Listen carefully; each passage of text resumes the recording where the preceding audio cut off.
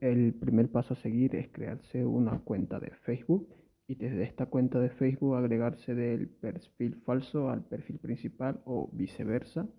Recuerda que cuando crean una cuenta de Facebook tienen que esperar una hora antes de poder iniciar sesión en cualquier juego.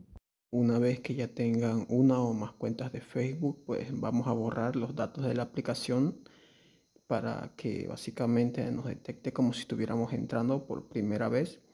Tenemos que entrar con la cuenta de Facebook nueva abierta en Facebook y solo vamos a iniciar sesión a través de Facebook y hasta el momento que nos salga una animación, ustedes pueden elegir si es hasta la animación de los dados o hasta que les salga el dibujito este que sale de fondo por primera vez. Una vez que aparezca el dibujito este, la animación, básicamente lo que tenemos que hacer es volver a borrar los datos y si tenemos más cuentas, repetir el mismo proceso una y otra vez cambiando las cuentas de Facebook, siempre asegurándonos de tener agregado la cuenta donde queremos los dados. En esta situación yo pues estaré reclamando los dados de 9 cuentas que serían 900 y 10 más que se colaron ahí de un cofre, pero bueno.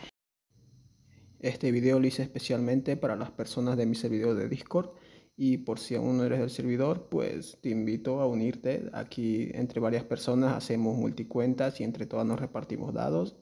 Actualmente creo que ganamos como 2000 dados por día aproximadamente.